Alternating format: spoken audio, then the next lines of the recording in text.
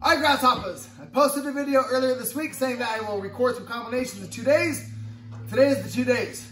One of the requests was a uppercut counter from Vic. Vic, I got you covered, baby. Julian. So, you can counter before. You know, that's one of the things with the Bruce Lee, the way of the intercepting fist to disrupt their momentum before they can even get going.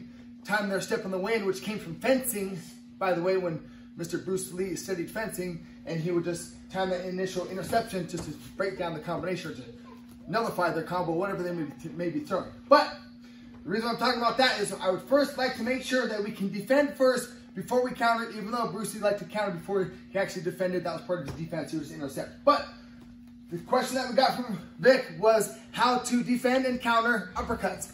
Here are some ways. So uppercuts will be a bit closer to Julian Conformance. Uh, he throws the right uppercut. One way to defend is just dropping your rear hand down right to right, left to left. You can go left hand as well. So if you go reload, go rear uppercut again, you can do this, okay?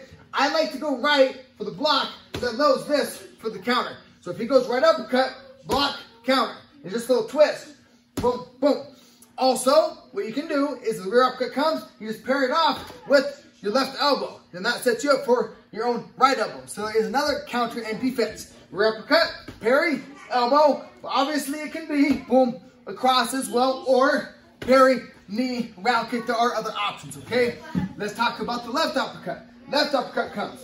Boom. Left hand, left uppercut comes, right hand. So those are two basic options, obviously. Same thing, we can parry it with the elbow. He goes left uppercut, parry, he's going counter back with that elbow, so that is an option. Or again, what I was talking about earlier with the hooks.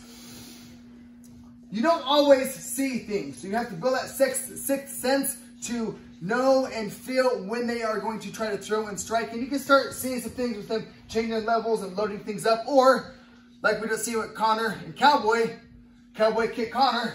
what Connor do? Kicked him right back. Monkey see, monkey do. So with that being said, open stance, yes sir. So with that being said, same thing happens. You come here, for me go close stance. If I want Julian to throw an uppercut, all I have to do is just throw an uppercut at him first. And he'll throw it back. I can counter it. So I'm talking about is being one step ahead, knowing when to counter it. Because when do you know if he's gonna throw an uppercut? Probably after you throw one.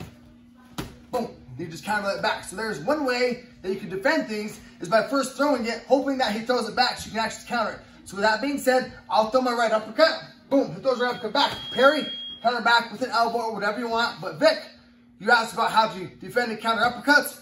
There are a couple ways for you. Julian, thank you, sir. Boom.